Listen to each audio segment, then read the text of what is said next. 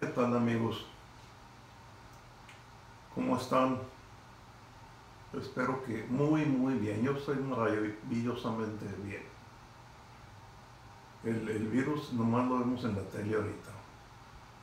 Hemos tenido las precauciones y los cuidados, así que todos estamos bien y espero que, que ustedes también. Bueno, el video que les mandé se, se fue sin, sin audio. Es la primera vez que me pasa, llevo más de casi 100 videos. Nunca me había pasado, pero algo hice. Entonces, eh, yo quiero pedirles una disculpa porque yo no me di cuenta hasta que me empezaron a contestar. Que iba sin sonido. Y tratamos de arreglarlo ahí en el sitio para nada. Entonces, voy a tratar más o menos los mismos temas que, me acuerdo que traté en, ese video, pero básicamente apoyándome en, en, la mercadotecnia en los tiempos de la pandemia. Padiema, lo escribí mal por cierto. Pues miren, mm, podríamos decir, por ejemplo, que el Oxxo para vender cerveza, pues no necesita hacer ninguna mercadotecnia porque los clientes hacen fila por horas, hasta tres o cuatro horas, y por, acá en Sonora, pues en el solazo. Entonces el, el problema es que sí hay mercadotecnia, aunque haya una demanda lo que pasa es que tenemos que ver a futuro cómo, cómo sembramos en el cliente la lealtad. Acuérdate que el cliente compra algo porque lo necesita. Nosotros no podemos venderle nada al cliente. Lo único que esperamos es que el cliente nos compre, así es la mercadotecnia. Entonces lo que tenemos que hacer es facilitarle de la compra y hacerlo un proceso más agradable. De por sí los, los Oxos que tienen ya 30 años en el mercado, nunca han tenido una característica de servicio al cliente, bueno, de buen servicio al cliente. Y eso pues los aleja un poco, ¿verdad? Cuando, cuando yo daba clases, semestres preguntaba, ¿verdad? A ver, jóvenes, ¿dónde, los que fuman, sí, ¿dónde compran los cigarros? En el Ox. ¿Verdad? Y, esa es una, eh, una, una, venta le, da buen margen a los Oxxo, pero que ya no tanto. Ya es menos la gente que fuma. Pero en mis tiempos nosotros comprábamos los cigarros tal vez en el abarrote. Porque no había. O en el supermercado, pero tenías que comprar un paquete. Entonces, eh, hoy han cambiado las reglas. Y la otra es que, si lo comenté, me acuerdo el, el video pasado, es que si yo soy administrador de un OXXO, o soy el funcionario, porque acuérdense que los empleados del OXXO no son empleados de la organización, son franquiciatarios, o sea, les dan la concesión y les dan una comisión de las ventas, pero ellos, ellos no, son empleados de, de, Oxxo ni de FEMSA. Entonces yo, siendo FEMSA o siendo Oxxo, eh, les diría, renta 50 sillas y que la gente esté cómoda esperándoles. Es más, regálales agua. ¿Y qué estoy buscando? Fidelidad ese cliente, cuando pase la pandemia y todo esté ya en forma legal, regrese a mi tienda a comprar sus productos, ya no nomás cervezas, sino lo que le haga falta.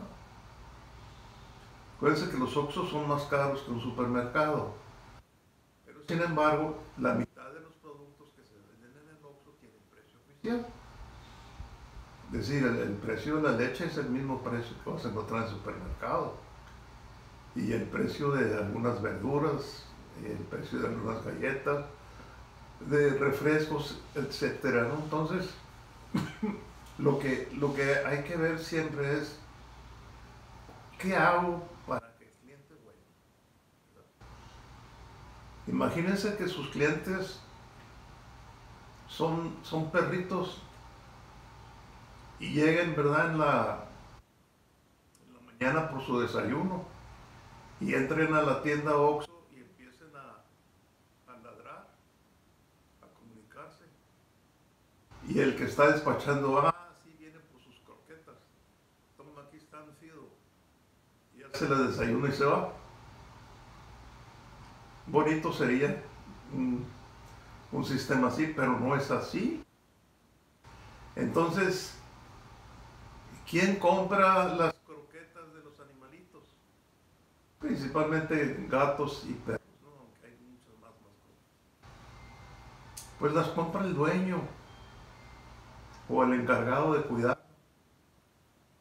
¿Y, qué hago? ¿Cómo le dirijo el mensaje al perro si el que quiero que compre es el dueño? Pues me dirijo al dueño y a él le digo, aquí tengo las mejores croquetas del país y verás que tu perro va a estar encantado y muy sano y, lo va a saborear y lo va a repetir, etc. Entonces trato de hablarle ahí de, ese producto, ¿no? Entonces, en el, caso de la, cerveza, en Alemania y en Francia, bueno, y en España también, eh, tiraron cerveza al drenaje porque necesitaban desocupar los tanques y no la podían embotellar para vender. Alemania tomó una decisión más inteligente, regalarla. Tal vez han visto en la prensa alguna vez, en muchas partes del mundo sucede, pero aquí en México sucede. Y tal vez sucede más por ahí, por rumbos de, de Chihuahua o de, la laguna, que los ganaderos eh, les da por tirar la leche cuando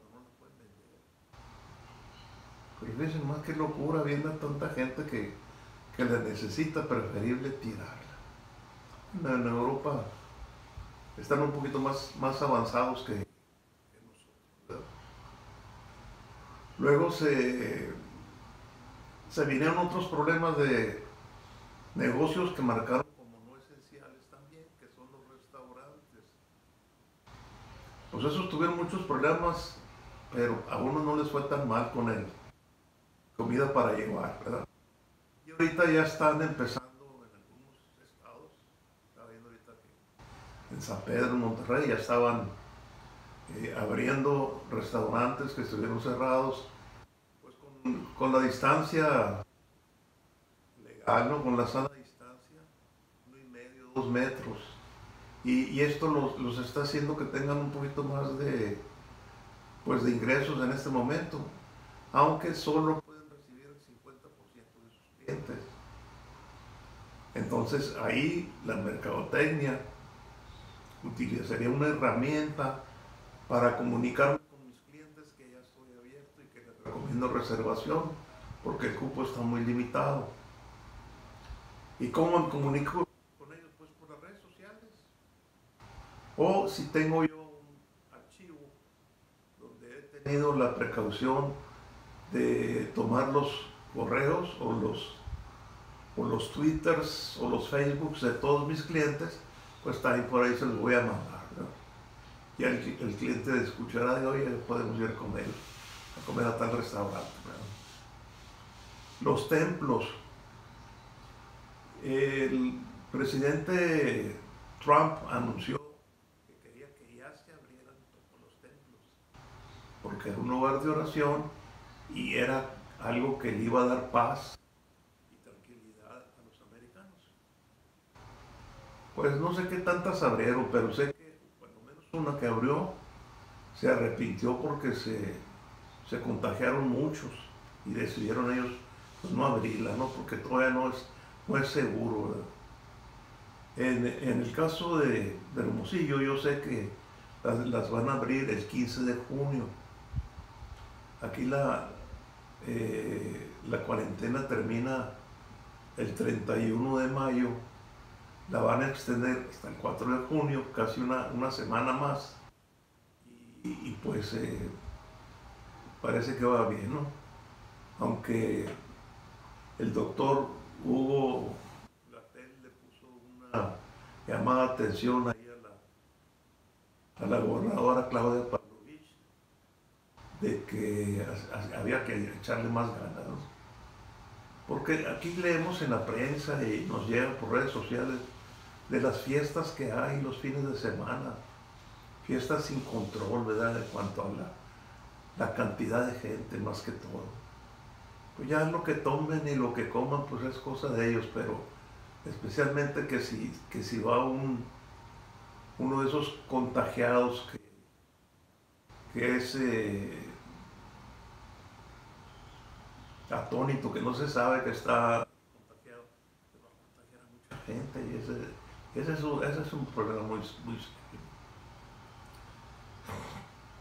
Yo no he salido de mi casa en estos días de marzo abril y, mayo y, pero he escuchado ¿no? en las noticias que los bancos es un problema para, para ser atendido. Y dentro de las recomendaciones dice la Secretaría de Salud que el cajero es el más riesgoso para contagiarse. Pero el banco tienes que hacer igual la fila. ¿Y, y, y qué le pasa al mexicano? ¿Qué nos pasa a los mexicanos? Vamos, y, vamos haciendo fila haciendo contacto con la persona de adelante, cuando deberíamos de guardar un metro y medio, cuando menos de distancia, que es la recomendación, y empiezan otra vez los, los contactos no deseados, pues, que, que nos, llevan, nos llevan la enfermedad. Eh, servicios, por ejemplo, hace una semana necesitaba una batería para y dije, a ver si está abierto y mandé un, mandé un amigo que se dedica a hacer mandados y si estaba abierto y si me pusieron la batería. Ah, bueno, qué, bueno, ¿verdad? No sé si eso es esencial o no, pero nos, dieron el servicio. En el otro tipo de talleres, por ejemplo, talleres mecánicos, o talleres eléctricos, o carpinteros, soldadores, impermeabilizadores. Hay muchos negocios de estos eh, ligados a la construcción que sí puede ser que sean eh, no esenciales, pero, pero sí necesarios. Pues. Si tienes una fuga de agua y no, no puedes pedir ayuda porque no es esencial. Pero ¿cómo? Pues, o sea, tienen que tener mucho cuidado, ¿no? Yo sé que México está pasando por una experiencia de la que no tiene archivos para, para ver el manual y ver ahí cómo se hace, ¿no? A, B, C, así se hace, ok. Pero tienen que meterle sentido común y un poquito más de comunicación con, con los otros estados. Y saber qué es lo que están haciendo otros para no cometer los mismos errores. Desgraciadamente se metió la política en, en la parte de la salud y ha sido un cuídense porque ahí va el fregazo, ¿verdad? Y mucha crítica, mucha crítica negativa. Todo está mal, todo lo que hace el gobierno está mal. Y ya que se vaya Obrador, está mal él, o sea, como si fuera el culpable o responsable del virus. Y lo que ha hecho eh, el Departamento de, Salud eh, recibió una felicitación de las Naciones Unidas, no de las Naciones Unidas, de la Organización Mundial de Salud, por el trabajo que estaban haciendo en México. Y luego ya ven que Gatel va a formar parte de un equipo de, que va a deliberar sobre las técnicas para mantener, mantener la salud de los países. Es un, es un honor que lo hayan invitado, ¿verdad? Bueno, pero en fin, eh, espero que este sí esté trabajando el sonido. Si no, lo vuelvo a hacer ahorita. Y yo no me doy cuenta hasta que lo escucho después de grabarlo. Entonces, con esto les quiero decir que espero verlos pronto. Les mando saludos y bendiciones. Adiós.